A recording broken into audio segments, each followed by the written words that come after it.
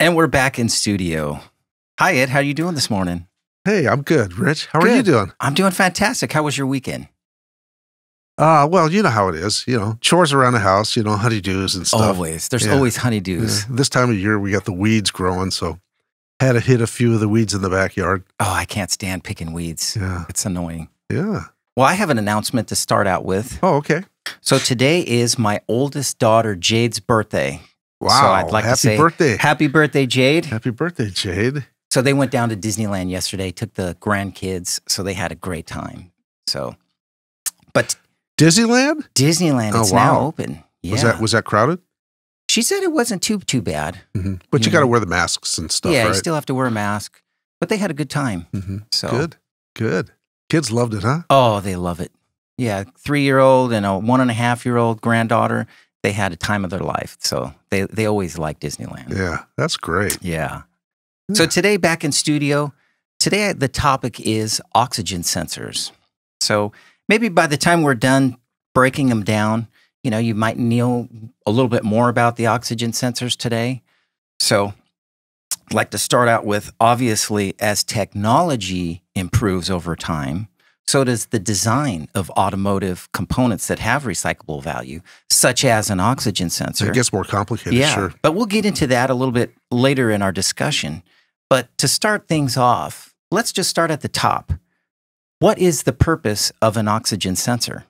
Well, it's uh, it's so that the onboard computer can um, obtain a data point to trim the uh, the uh, air fuel ratio uh, going into the uh, cylinder for combustion, and Right. it's it's um, sensing the downstream combusted gases to uh, check on the uh, oxygen content. So now would that work in co- coincide with like the EGR valve Right, and the catalytic converter? right, exactly. Yeah, it's all about trimming that uh, air fuel ratio so that uh, the catalytic converter works to its optimum hmm in in the after uh, treatment of those gases. So the air fuel ratio mixture that it's Yeah. that it's flowing. Well, you know nowadays, you know these these engines are burning hotter with higher uh, compression pressure, right? and uh, they're achieving um, unbelievable uh, high high emission standards. That's the whole point of that. Right. Yeah. So now, typically, tell us how many oxygen sensors are in a modern vehicle today. Well, you know, back when when they first came out, there was one in the system, um, and then the onboard computer became more sophisticated, and uh, then there became more of those ECMs, electronic control modules, uh, for different systems. You know, lighting or air conditioning or right. uh, the fuel system, uh, the emissions system, and uh, so there's probably I would say an average of three to four of those sensors in the exhaust system today versus 30 years ago. Yeah, like came out with. OBD1 vehicles, right? There Yeah. was probably just one sensor per Right. vehicle. Exactly. Yeah. Yeah. And when when did the the oxygen sensor come about? Do you know Well, what year they, that ca- they came out around the the uh, early 90s. really? Yeah. Yeah. It's been a while. Yeah, been a while.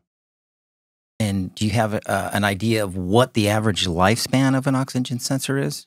Well, I, I think it really depended upon the um, the uh, tune tune up on the car. Um, if it was if it was efficient on a burn, it would last longer. They're designed to last maybe fifty thousand miles, but then they do foul. You know, they get carbon deposits, and and I know that some people have attempted to clean off those deposits, but it's really hard because you clean off the deposits on the outside of the sensor, but to get on the inside to clean off those deposits was very Yeah. difficult. So it was easier just to replace them. Right. Yeah, service technician had told me, you know, a tail sign that an oxygen sensor is fouling or, or bad, need to be replaced, is a rough idle.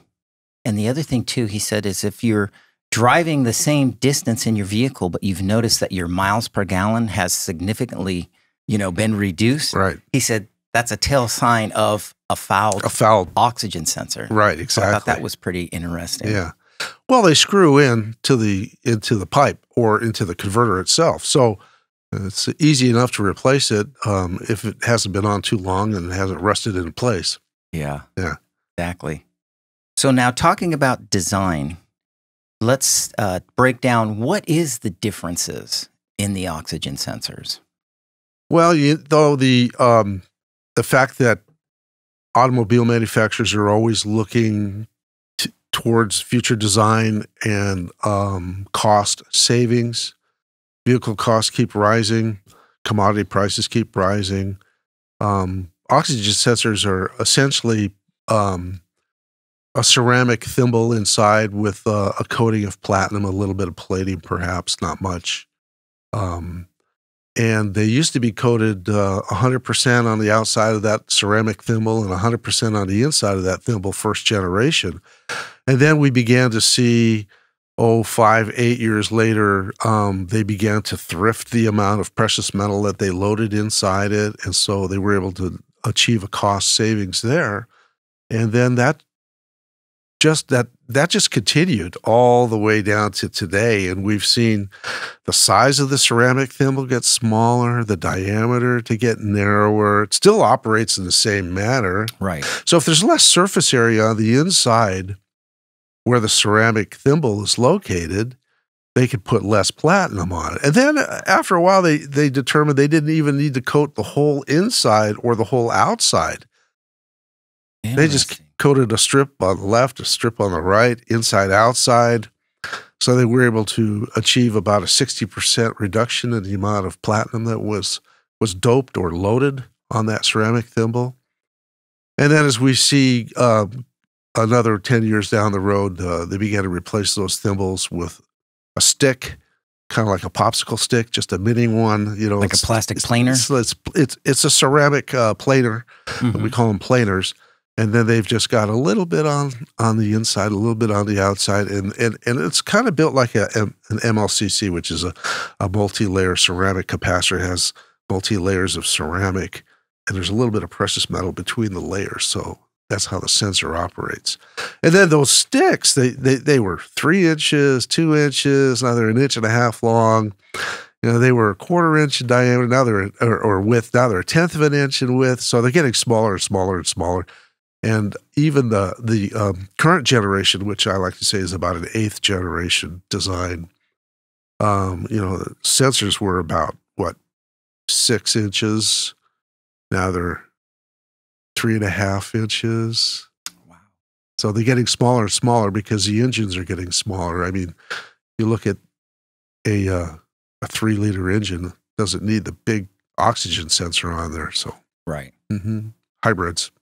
So with technology, with the design, probably the the newer design of the ECM units in the vehicle, they can thrift a lot of the uh, precious metals, so to speak, Sure. for the oxygen yeah, sensor. Yeah. Yeah. It's uh, incremental changes over years through engineering. Yeah. save them money in manufacturing. Um, what here in the United States, what do we sell? 18 million cars a year. Um, if in 19, um, say 1995, we're selling 9 million cars a year, had one sensor. So that's 9 million sensors, right? Right. Well, now it's uh, 18 million cars at three sensors. Do or the math. more, right? Or Do the math. I mean, Yeah. they're doing the math, right? Uh, absolutely. Yeah. So so as as as we see them enter into the recycling stream, uh, we're we're noticing that uh, of course it's a mixed stream of all the different generations Right. that we're seeing come in for recycling, but we're seeing the recoverable platinum values dropping. Um, it's it's still economical Right. for recycling. Um, it's just that it's diminishing in value. But yeah, it's a funny thing. As it diminishes in value, sometimes the commodity underlying price begins to rise and make up for the difference. That's true. Yeah, that's a possibility. I mean, we haven't seen Right. that in platinum yet because platinum's been in the doldrums for the last five years, Yeah. But it might happen in the future. Absolutely. Yeah, As new technology comes out and there's more of a need for platinum, exactly. platinum pricing will rise. hmm hmm That's what we're hearing rumblings of out there for alternative uh, uh, drivetrains to eliminate you know internal combustion engines. Right. Obviously, they're going to need platinum for those. It could could use a significant amount of platinum. So with that being said, with the the current design and and we've gone from the first generation that obviously had a higher recyclable value, Right. and the second generation, you know, now we're into this, you know, seventh and eighth generation. You know, is it still wise, obviously, to be recycling oxygen sensors for the wrench turners, for the muffler shops that are out there that that are possibly throwing these oxygen sensors away? Not knowing that there is recyclable Well, yeah, that's a question I ask you because you you handle a lot of the inbound calls, and um, what are you hearing from these service technicians in the marketplace? that they're doing just that. They don't realize that they have recyclable value. Right. They are just throwing them away, or they'll end up in their scrap bin. And unfortunately, it'll go in with steel Well, scrap, they get a nickel a pound. Okay. get, and get melted, and Uh-huh. then we lose, you know, the Yeah. precious metals to the furnace. yeah. Well, if they go in with the steel scrap for recycling, um, the steel gets melted down, and the precious metal is lost in the alloy. Right. So the precious metal is not recovered, and they're not paid for it. No, no. Yeah, they're they're very surprised when they hear that that is something that has recyclable value and what they could make for this item. Right. You know, obviously, it's where bulk makes sense because if you save up enough of them, you're going to get a nice, you know, payday at the end. Well, the thing about the um, scrap metal recycling industry is it's it's typically a regional industry, couple hundred mile radius of Right. setting out trucks for picking up volume. Um, and you need bulk for uh, Mhm. payment and and uh, processing. So when you when you look at the automotive repair industry, um, it's all over the country. It's even in little towns Everywhere. right? On the byways. And so it's a highly fragmented marketplace in regards to the collection effort hmm for those recyclables that you're referring to, Right. such as oxygen sensors. Right. And uh, that becomes a challenge how to address that and uh, not see those resources uh, get thrown in the trash. I mean, they're throwing them in the trash as well, right? them in the trash. yeah, that's terrible. Yeah. Yeah, they should be collecting them up and uh, occasionally shipping them out. Right. Yeah. I mean, you, you save up 100 pounds, 200 pounds, you know, you could send that in for processing, no problem. That's right. And then we have clients, obviously, that do the larger loads, you know, It'd be a Gaylord, you know, 3,800 plus. So it just, it just needs to get out there that yes, this is an item that they can be saving that has recyclable value. Right. We're able to process it, get that precious metals back out into the automotive marketplace, if you Right. will. Well, great. Well, I thought that was very informative. So I appreciate your time today. Thank you so much. Yeah, my pleasure. Thanks everybody for watching. Yeah. Okay. Please uh, you, subscribe, like, and share the videos, and we'll see you in the next episode.